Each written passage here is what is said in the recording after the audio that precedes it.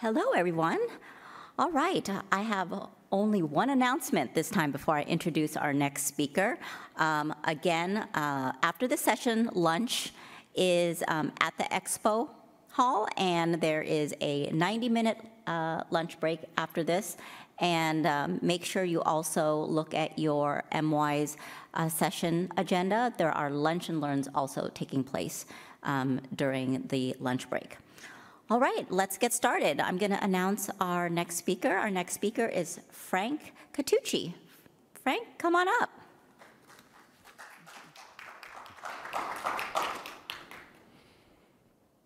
Thank you. So today is, uh, we have eight sessions uh, at this 11.30 time slot, so thanks everyone for coming to this uh, full house. Um, this session is going to be a little bit different on a lot of things that I normally present on. Uh, the last two talks that I did at Black Hat were more in-depth kind of tech talks. Uh, but that being said, this is an important talk and I'm very kind of passionate about it. I've seen DevOps and security in DevOps success, uh, excuse me, result in success and failure multiple times over my career. Um, and 90% of the time, or higher I would be willing to venture was because of the concentration on more of the tooling than on the people and the background process that go into a successful DevOps program. Um, so that's what I'm going to share with you today. So real quick, uh, uh, who am I? My name is Frank Catucci. Uh, first and foremost, I, I, I just want to make it clear, I'm very passionate about application security. I've been doing application security for uh, a long number of years. Um, so that's where most of my background and passions lie. I do a lot of bug bounties, used to do a lot of pen testing. I'm currently the CTO and head of security research at Invicti Security. Invicti offers right now, we, we have, uh, obviously, we, we have AppSec products. Now, th this is not going to be a talk where I, I, bring up or mention any of our AppSec products or tooling or anything of that nature. Um, just giving you a little bit background of who I am. So again, 20 years of experience working closely with engineering and product teams, mostly on the developers, uh, I would say more of a developer focus. Um, I ran OWASP chapter for a number of years in Columbia, South Carolina. I contribute to the OWASP cheat sheets if you've ever used those uh, resources. Um, I am a previous analyst for Gartner uh, in my past lives. I worked at DataRobot doing a heavy focus in product security for AI. Uh, previous to that, obviously, I, um, we did a lot of the groundwork for um, any uh, for a lot of the AppSec focus uh, related items at Qualys, and I was there for a number of years. Anywhere from a past uh, CISO at a financial organization to a pen tester. Um, Obviously, it's just uh, me who sits at a computer for far too long, especially um, according to my wife and children. So uh, that being said, why DevSecOps? So again, uh, a little bit of a selfish kind of point of view of coming from more of that developer uh, or that, uh, I would say, engineer perspective. But the reason of why DevSecOps essentially is I find that when we're looking to state crucial parts of the business that we're looking to improve due to things of the, the nature of the change of how software is delivered these days, right? So waterfall versus agile, the number of releases, the, the, the quality control of that software that gets released. Um, I'm going to read from the slide here because I think it's an important statement and I put some thought into this particular sentence. So I think that DevOps is crucial uh, for security leaderships and development teams as it integrates AppSec into the dev process, but also automates the security testing. Most importantly, builds that culture of collaboration and communication. If I could stress one thing to you about your DevOps programs or your DevSecOps programs being successful is it's not gonna be because you had a cooler tool than someone else or you bought a very specific type of uh, snake oil that was being sold. It, it's not that. Uh, ultimately, we're going to ensure we're going to ensure security by building better apps. Um, however, it has to be done correctly to be able to be successful. Now, before we go any further, let's take a step back and really think about perhaps, you know, what are, what are the real world benefits um, that we can see? So, um, we, this is not the final presentation, but we'll go with it. Um, so, uh, improved organizational security, faster time to market, increased collaboration, building software of a better quality, and reducing costs. Okay, so let's break those down for a second and look at why that possibly could be important to your org. Um, look, we know if we find vulnerabilities earlier, um, it's going to improve your overall, let's say, security posture, holistic security posture of the org. Because at the end of the day, whether you're reading Verizon DBIR reports or looking at uh, Mandiant reports or whatever you're looking at to pretty much surmise a lot of things that have gone wrong for other organizations, we know that the main entry port, main entry point into a lot of those breaches uh, is going to be through some web or application facing asset. Um, and that's just the true nature of it, right? And I don't care if you're using credential stuffing, I don't care if you're using traditional exploitation, if you're waiting for a zero day like MOVEit, I don't, it doesn't matter. You have this internet facing application. Um, attackers are always going to be looking at those external facing applications, those applications that can be leveraged or accessed uh, from a remote point of view. So integrating security processes to there are going to improve not only your application security, but the overall security of your organization. We know faster time to market. That's a huge stress, right? So if anyone's lived on a developer or an engineering team, the faster and the cadence of releases is increasing exponentially. The way that those increase, we know that we need to release software faster. We need, I mean, how many times are your apps updating on your phone? It's multiple times a day, twice a day. It used to be, you know, we used to update applications once every six months and it was this big major release. So that's not a, a, a reality anymore. So we need to be faster to market as, as an absolute benefit for your company as a whole from the business perspective, not only from the security perspective. Building better quality software. Nobody wants to, no developer, no engineering team, no one wants to fix bugs. Bug fixing is boring, it's tedious, it wastes a lot of time, and it wastes a lot of money. By building more resilient and better software uh, of a better quality, we're going to reduce our bug time and reduce our time fixing problems later in the cycle.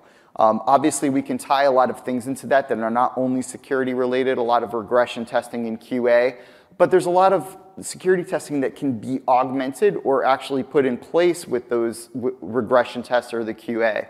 Uh, we'll get into a little bit of that later. Um, reducing cost. This one's controversial because everybody's, you know, there, there's a lot of folks out there that say, okay, you find bugs earlier, you fix them, it saves you money. Um, yes, th that's true. But again, looking at it from an attacker perspective, if I can find and fix vulnerabilities before they go out to prod, um, where someone is going to, as soon as I make a change to a site, it's going to be scanned. We have customers all the time that are say, oh, well, we can't scan that because it's production, it's internet facing, it's, okay, well, I, I, news for everybody or not news for everybody. The minute you stand anything up on the internet, it's getting scanned. Um, and so finding and fixing these bugs or these vulnerabilities before that is going to save you cost. And this is, these metrics are going to look completely different for everybody. Every organization is going to have a different metric or different metrics that they focus on to begin with. But it's important that if we can serve those folks at the top echelon of the people that are serving our business side with metrics that show uh, increased time and money savings, it's going to be exponentially easier for you to move forward in your DevOps processes or security in your DevOps processes. Uh, we know efficiency, uh, reducing manual effort, reducing tickets and bugs, all of that's going to save you time. I mean, we know that one of the main things that a lot of developers or automation teams do is their sole job is to automate. The more you automate, the more money you save. So just from that point alone and reducing cycles for fixing bugs and vulnerabilities is going to save you money. How you break this down to your specific organization or how you report these specific metrics may be very different, um, depending on your organization, your business lines, et cetera. But the important thing to know is to be able to utilize metrics showing that automation and building that security in earlier in the pipeline does actually, in fact, impact your bottom line on ROI. So, enough of the uh, business talk here. Let's, let's get to the point where this is something that, again, the failure and success of DevOps that I've seen repeated over a number of years in consulting engagements, et cetera, beyond public sector, private sector, et cetera, has really fallen to one thing, and that one thing in common. So, maybe dating myself a little bit here, having a little bit fun with the audience, I don't know. But uh, what does Soylent Green and uh, a Soylent Green and a successful DevSecOps program have in common? And everybody here, I'm hoping, understands this reference. Just shout it out if you want. There you go, people. So again, time and time again, the success and the failure comes down to the people and the communication that is required to implement successful DevOps. Now, Let's dig into that a little bit. What does that mean? So I'm going to spend the most or the majority of my focus here on this recurring theme of the people in the process. So where do we start? Before we get to the slides, uh, we have two slides where I can tell you you're going to see ultimate success or failure, and you're going to be able to relate that to your organization. But before we get that, let's get some things out of the way. And that is the prep work, right? The, the scoping and the preparation for really what this means to be successful. Because without the prep, these next slides, these all build upon each other. So without the proper preparation, we're not going to have the fundamentals down to be able to succeed. So when I say scope the effort for this, you know, number one preparation, first of all, let's ask, why are we doing this? Do we, do, do we have support? Do we have buy-in? Do we have the overall organizational desire to actually do this?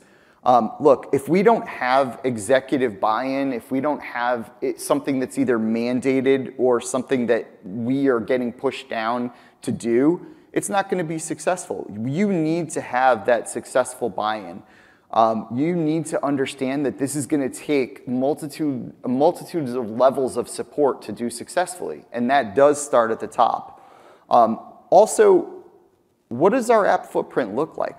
Uh, like if in your organization, how many applications do you have? How many are legacy? How many are not being updated or released on a normal basis? How many are being released and updated daily or monthly or weekly? Like what does my overall app footprint look like?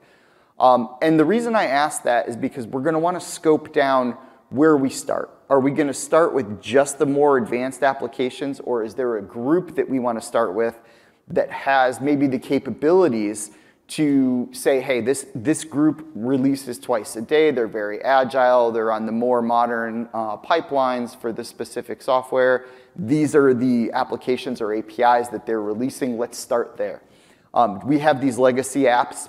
We're not even gonna bother with those legacy applications right now. We only update them once in a while uh, we're going to focus on you know where we start. So we need that inventory, um, as it is for anything else. Understanding that it's impossible to secure what you don't know is there or what you don't understand, um, and so um, there's a lot of that discovery process that goes into that. Um, the next one, in my eyes, as a foundation of a beginning, is identifying owners and stakeholders. This is going to fall into multiple areas. One of the other biggest mistakes is that people get pigeonholed into I have developers, I have security, and that's it. That's where I'm going to do my DevSecOps or my DevOps. There's so many more stakeholders than that. There are more participants than that. We have, we have QA, we have business owners, we have product owners, we have folks that are, uh, that are extremely tied to uptime. Um, we have uh, SRE teams that are, are solely metriced on, on the, you know, maybe five nine uptime or direct revenue impact that's tied to that uptime. We have a lot of different owners and stakeholders, and it's not only dev and security teams. That being said, the dev teams, engineering teams, and security teams will have a lot of processes that they own specifically, and we need to identify what those processes are and identify who's responsible for them. Third thing, let's look at metrics. Like, let's, let's, this is more of a hypothetical when you're starting. What does success look like for you? Um, I don't want to start with 10,000 applications and say, oh, DevOps, we have six months, let's go, 10,000 apps. Uh, that, that's not reality. Um, that's another key uh, indicator of failure. Um, so what we want to do there is understand what your success looks like. Do we start again with a very specific group of software or a, a, dev factory, if you will, or a pipeline or something of that nature? And how do we improve? Like if we know that we're starting here, let's say we're starting with Team A. Team A runs an app, it gets updated constantly. What do we want to do to show incremental improvement? Is incremental improvement mean one to three months we're adding one or two pipelines? Um, is that success for you? Um, what, what does your overall success look like? And the reason I say that is because we have to understand what we're starting from, what we're trying to improve to, and what success looks like for your DevOps processes or your security processes in DevOps if that's where your focus is. We have to understand how we can get better and what exactly we're doing to get better and then be able to document that. Uh, the KISS is in there for my own reference, uh, the keep it simple stupid, right? Let's start very simple. Let's start with real uh, goals and look to execute upon that first. Um, I, I, see a lot of um, other folks that are saying, okay, well, I, we don't need DevOps, we have an SDLC. Uh, why is DevOps or DevSecOps having to replace our SDLC? It's, it's not. What, what DevSecOps is doing is, is it's an incremental add-on or an incremental evolution, if you will, of your SDLC. You need to have an SDLC. Most people probably already have an SDLC, but what will I be doing beyond what I do for that formal SDLC. I'm building upon it. I'm making it better. It doesn't go away. Oh, we just spent all this time doing a secure SDLC. Great. All of these things will help mature and evolve that, mature, that level of secure SDLC no matter how far or, or behind it is. Um, obviously, you know, I'm not going to get into version control and CI/CD here. However, that is just an example um, of look, we, we, we use something of the nature of version control, um, and we're looking to push that out into CI/CD as part of our SDLC. That's going to be a part of that evolution. All right. This is the most crucial slide, everybody. This is the one. This is the one you've been waiting for. Um, this is the one where people fail. This is the one where people succeed. If, if you have one slide to take home with you, and everyone will be able to get this, it's this slide. Everybody that fails in DevSecOps will fail at doing one thing here. Um, you know, it sounds a little bit cliche, but without a strong foundation, um, everything else is useless, right? Uh, and the same thing goes for a DevOps program or a DevSecOps program. Anyone who's built anything understands that you can build the most beautiful high-rise building in the world. But if your foundation is garbage uh, and there's a sh slight shift in sand or whatever it is, uh, earthquake, et cetera, the whole thing topples over. All right, so where do people succeed and fail?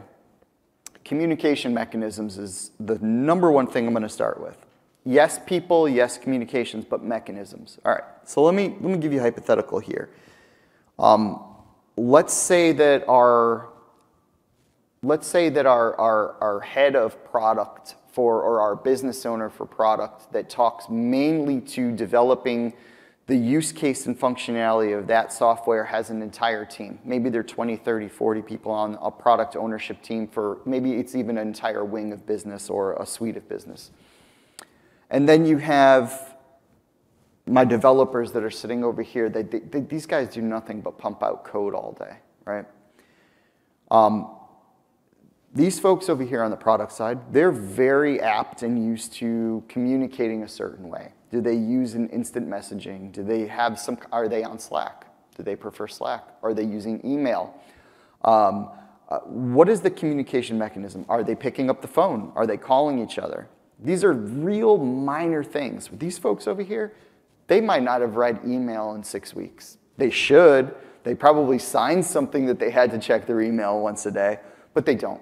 They're living and breathing Jira tickets. They're living and breathing um, in GitHub or GitLab in their IDE, right? They're, they're using Visual Studio. If someone wants something, they ping them on Slack, and those guys are communicating all day. Outside of their bubble of Slack and their IDEs, they're not communicating. Sure, if there's something major going on, their boss might say, hey, I need you to do this, but what's he doing? He's going, he or she's going through Slack, right? They're doing these. They have these communication mechanisms that work for them. Every department, every organization is going to have these groupings or these breakdown of what those communication mechanisms are. We're forming something that's going across multiple different organizations. Our stakeholders are members of these multiple different groups. So we need to establish communication mechanisms. We need to standardize that. We need to at least say, hey, look, for our DevOps procedures, this is the method and mode of communication, and have everyone understand that. These, the cross-team collaboration, do these teams ever work together? We have, we have dev, we have security, and we have operations. Do they always work together? Um, no. They do a lot of things that do cross-function, but there's not a lot of standardization. There's not a lot of things that exist that allow those teams to work and, and work in an integrated fashion with the least amount of friction. So the cross-team collaboration, the communication mechanisms. Integrating, I mentioned earlier, with the SDLC tooling and vuln management processes. All right, let's look, what do we have already? All right, everyone has something already. Uh, we have, okay, I'm using Tenable for my VM uh, that's doing endpoint and server, maybe some cloud management. Um, I have another group over here that is maybe running a very specific tool for SAST. Okay, well that exists, great. Um, I have another team over here that uh, don't talk to us, we're just firewall. We do, we do our web application firewall, our CDNs, our Cloudflare admins, whatever. And then you have a whole other group that maybe is you know, responsible for your cloud entities, your, your cloud security posture management, your AWS admins, et cetera. We have all these disparate processes and these dis dispersed tools that are not really working together. Let's understand what we have already.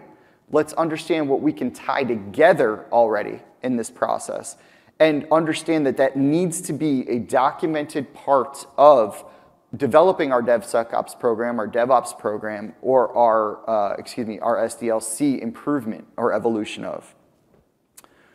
All right, the biggest one, this is, this is, this is just as big as communication, again, on this slide, SLAs. No one likes them. Nobody likes them. No one likes SLAs. We all need them, however, because look, establishing SLAs that everybody agrees upon is going to be critical for the success of this program. I don't care if you start with one app, one pipeline, one API, I don't care what you start with um, you're going to have to have SLAs that you all agree upon. Um, those SLAs don't have to be the same across the board. Um, obviously, if I have a business critical application that you know my whole business relies on uh, that's external facing, I might want to have a different SLA with that application. But the problem here is understanding the ownership and coming to agreement on those SLAs. Um, I'm going to get into that a little bit further when I get into some of the tooling. Uh, but for right now, let's give you a hypothetical scenario that our tooling spits out uh, a critical finding uh, in an application. We fail a build. Let's say we fail a build because we found a critical vulnerability. Um, obviously, in a perfect world, that would do something like open a ticket, open a work stream, a Slack message, et cetera, et cetera. Okay. So we have something that finds this, this security vulnerability, opens the ticket, sends a Slack message. Um, what does that look like? So how quickly do I need to respond to that? What are those agreed upon service level agreements that say, you know, look, we've talked about this, we've met about this, we've agreed on this, we've, we've communicated, we've broke down those, those barriers for friction, and we said, look, if it's a critical and it's going out to this application, you have 24 hours that this thing has to be fixed and resubmitted for the build process to get retested. Um, if it's something not as important, maybe you have SLAs that are, you know, like let's say it's a medium vulnerability. Okay, great. Maybe you have 30 days. It's a medium vulnerability. It's 30 days. We're not going to fail a build on it. We'll pass the build. We'll flag it, open a JIRA ticket. You have 30 days to fix it. If you don't fix it in 30 days, it gets escalated. Um, something of that nature. These things can be across the board very, very, very different. But those SLAs need to include responsibilities and ownership for each one of those processes, right? Who owns the process? Who's following up on the process? Security shouldn't drive the process. Security should be the implementer of the checks and balances, meaning it's a trust and verify type of procedure. Uh, but development needs to agree to that beforehand to understand that they need to be able to fix these specific things on a certain time, timeline. All of this has to do with communication. Without the proper communication, without the proper fundamentals that you're building into this foundation of your program. Um, obviously, right, we looked at this slide here. We're, we're scoping effort, identifying owners. Again, I, am focusing very, very much on the people and the process rather than the tooling, which we're, we're going to get into a little bit. But these are the things that I've continuously seen the failure. Now, if you look for someone who has a failed DevSecOps program, oh, we tried that. I guarantee you, if you've tried it in the past, you're going to find something on this slide or this slide that was not done that, that either was solely responsible or greatly influenced that failure. All right. Let's, let's go swimming for a bit. Let's dive into some of the process side of things. Okay. Requirements management. Very boring piece. Uh, no one wants to do requirements management. There's an important lesson in this requirements management. Um, I'm going to skip to number two real quick, and I'm going to tell a quick story. So uh, I think it was about three or four years ago, um, maybe longer, I don't know. COVID kind of threw my uh, time perception off a bit. Uh, I did a developers workshop in San Diego um, at a Gartner Summit. And what this was was a little bit different. This was a hands on uh, developer workshop to help security and developer teams come together um, and understand what they could and couldn't do, what their shortcomings were, what their difficulties were. And these, these folks signed up for the, it was a, you know, two, I think it was a two hour workshop. Um, very good attendance. I think we had about 40 people.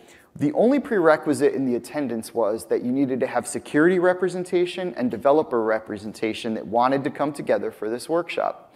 Um, so all in all, 40 people. Yes, probably only 20 companies because there was uh, a variety of roles there. But um, what we did was, uh, it was, you know, the main part of it was I said, let's, let's just play a game. Let's play the OWASP Cornucopia card game. Has anyone heard or played the OWASP Cornucopia card game? Great. So it's a card game that starts out with basically two personas, essentially. You have developers and you have security folks. And they go through this, and when they play the game, you start with these cards. The cards give a premise for an application. The premise is here's an app that does X. Okay. Then, as they play the game, security is playing their cards, understanding what the security implications are, where the developers are saying, That's great, but I know I need to implement these five things. Meanwhile, the whole idea of this game this free card game, um, is to get these folks looking at the other's responsibility and focus and opening up that communication. Um, that was probably the most successful training endeavor that I've done in my career. I've received letters and notes and emails from actual impact that I made on those companies that attended that summit. Um, and most of it, not all of it, most of it was due to the communication and the understanding that went into this. So with this card game, we, we, we, said, what are the risks associated? How do we do this, right? A developer's like, okay, I need to say, okay, this has to be single sign-on. I'm going to use this uh, particular mechanism. I'm going to federate through here. Maybe I'm using OAuth, maybe I'm not. Uh, this is what the app has to do. This is the data that it has to access. How am I going to get access to this data? And meanwhile, watching them look at that and, and walk through that creates this in, incredible kind of like series of, of events that lead a security person to say, huh, well, I just look at this app and I know that I'm going to try to attack it in five different ways, um, and I'm going to use these tools. But what we're doing here is looking at requirements. We're looking at a step back to what security needs to be put in the design of this application. Ex exactly. Uh, we need to have some type of thought from security and dev working together in secure design, understanding what the requirements are and what, they're gonna, what that app is going to do. There are free resources out there. You don't need to buy products and spend money. OWASP ASVS, security verification standards. It's so it's a very very high level now. You you'll want to look at it, but you'll also want to develop upon it. It's going to say how sensitive is this application. I'm going to rank my applications in three buckets: super sensitive, semi-sensitive, not very sensitive. Internal only. It processes the parking data for my parking garage. I don't care about it. It's internal only. You know, employees have it. Publicly facing. Now, it's going to give you a list of standards for each sensitivity level that must be met.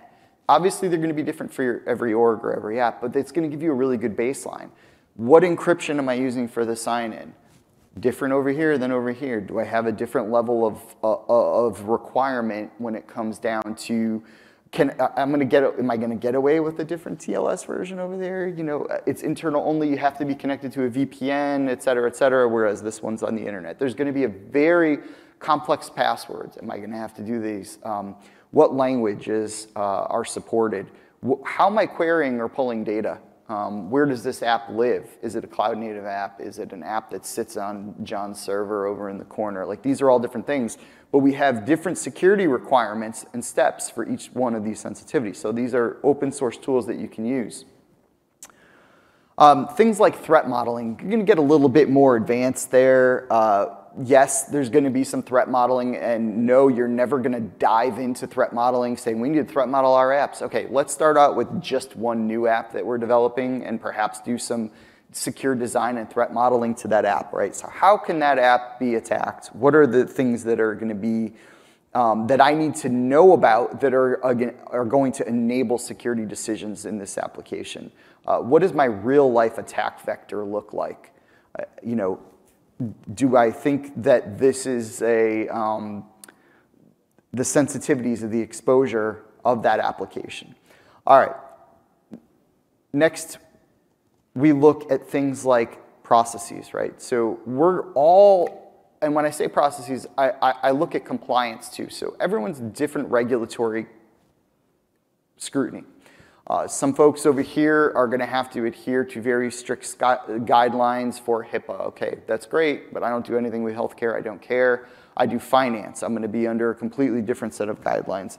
Can I use those guidelines or those corporate policies or that compliance to push forward perhaps some of my ideas in design?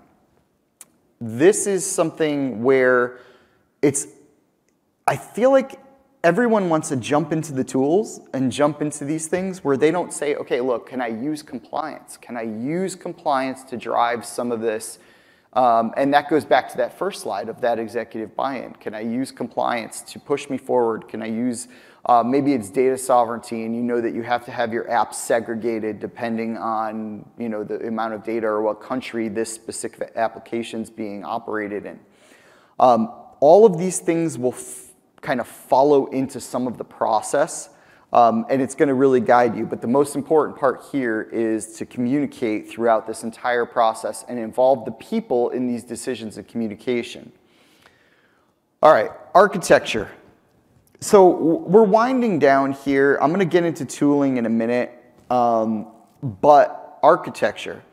Um, do we use things right now that are going to enable and help us? And who are the people responsible? Are we using only trusted components? If we are, who's deciding what these trusted components are? Where, are our SDKs and our libraries coming from?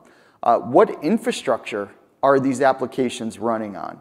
Uh, are we using infrastructure as code? Who's looking at that code? Are, are these things all piped out to cloud? Um, are these instances where these are legacy apps running on physical servers or, or hardware? Um, all of these things need to be taken into consideration. All of these pieces for architecture are not just the architecture of your apps, but also the architecture of your deployment models. Remember, your DevSecOps is going to go from before code is written, meaning the, the process in the planning session, all the way to the developers writing the code. Hopefully they have some IDE plugins in their console where they're saying, oh, you just made a huge mistake. That's a SQL injection. And the developer's like, you know, no one else sees it but them. They fix it. They move on.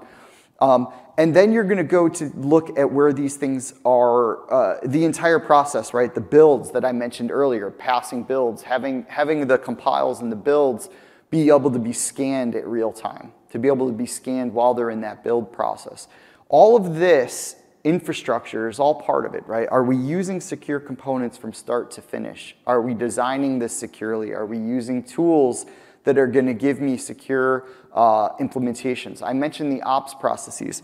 Again, are we using hardened images um, are, containers? Uh, what, what are we doing to deploy these? Uh, all of our APIs, are they using proper uh, authorization and, and uh, authentication? Are we, are we pushing this forward in a method that we know that our components are also secure?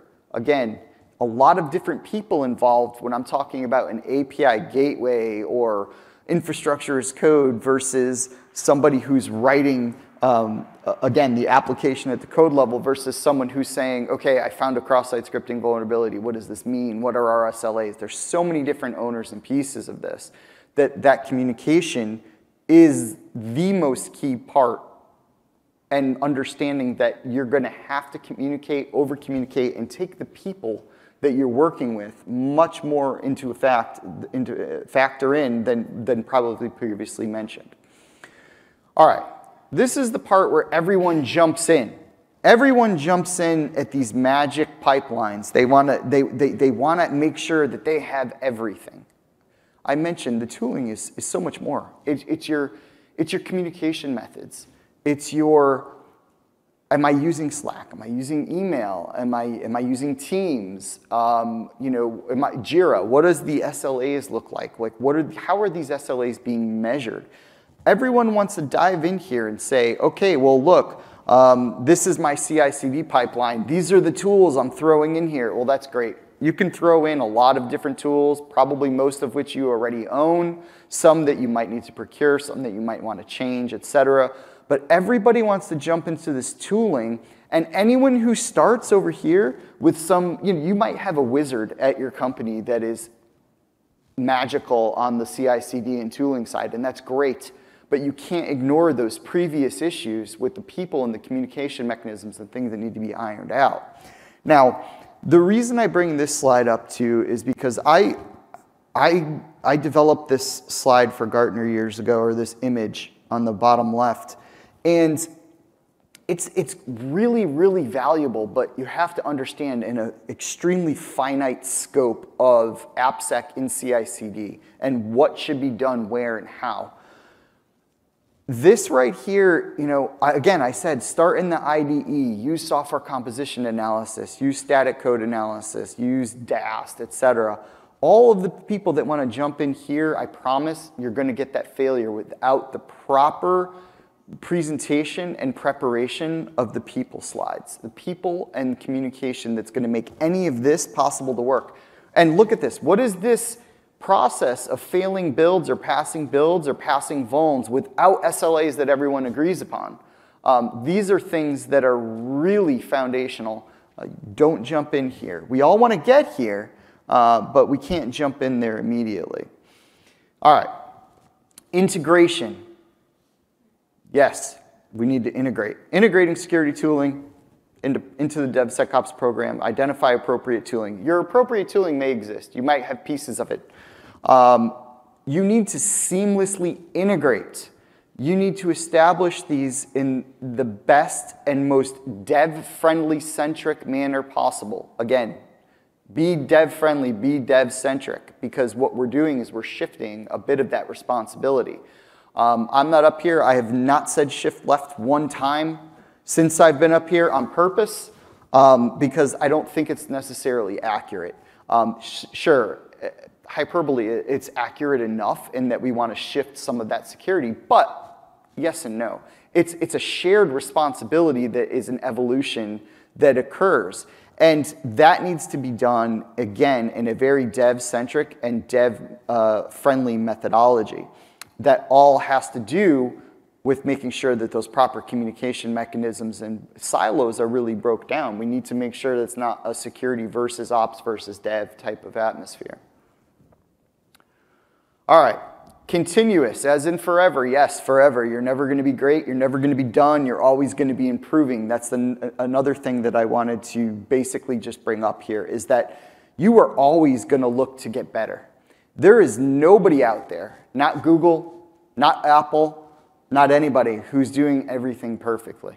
Um, they're never done. You are never done. You are always continuously improving. The goal here is to understand that what does, what does getting better look like? If, if I can improve a little bit on a continual basis, that is success if I can start with one pipeline and it, okay, it killed me for six months to be able to get this one product fully implemented into DevOps, what lessons have I learned? What mistakes have I made? What can I close? What are loops or holes that I found that I can plug to make that continuous improvement better for everyone and all stakeholders? It's that continuous improvement that's going to really, really push your DevOps program or your DevSecOps program to be impactful or successful. That continuous improvement. And learn from your mistakes. Do not bury them. Do not be embarrassed. Learn from them. Learn from the mistakes. Learn from the mistakes that people make in code.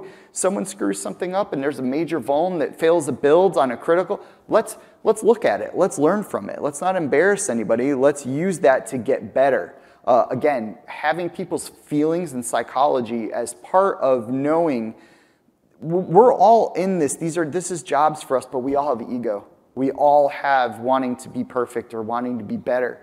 You can't embarrass anyone. You need to learn lessons, move forward with those lessons, and be very people centric and have those things into consideration when you're doing DevOps. All right, summary. Quickly, evaluate your current state of practices and processes. Establish clear goals and objectives. Promote training and communications. Implement dev-friendly testing and automated security processes. Utilize CI/CD, obviously, to get to maximum potential. Constantly improve. But if there's one thing that I need to state over and over and over and over again, it's that everybody wants to get here. And this is another image that uh, I actually co-produced this image so I can use it. Or at least that's what I'm going to go with. So everybody wants to get to this very mature figure eight, seamlessly moving piece of DevSecOps where we're doing secure design and externalized security and we're doing development verification and production security monitoring. Everyone wants to get here and, that, and that's great. Everyone should want to get there. Everyone wants to jump into the tooling. Everybody wants to implement all of these different tools. Yes. Should you want to get here? Yes, you should be striving for this. Do you want to get to something that looks like this? Yes, ideally we do. But it's not possible without the one, the number one largest asset that every single business and company has people. And people need to communicate. And that is exactly what the uh, premise, and again, the over 90% of the success and failures of DevSecOps programs and security programs in AppSec and Dev that I've seen over the years all come down to people and communication, and the failure only relates to this. Um, I'm going to hold this slide up here, additional resources and books if anyone's interested. Uh, this curated list I just put together real quick, but uh, I find these to be pretty good references. Um, big fan of OWASP and open source, um, but obviously you can see that here. Um, I thank everybody. Um, I, I, have a, two slides that are questions and thank you. I'm going to leave that because I think this slide's more important. But I want to thank everyone for their time. And if anyone has any questions, feel free to come up to me um, either in front of everyone or over here to the side, and I'll be happy to help you out. Thank you.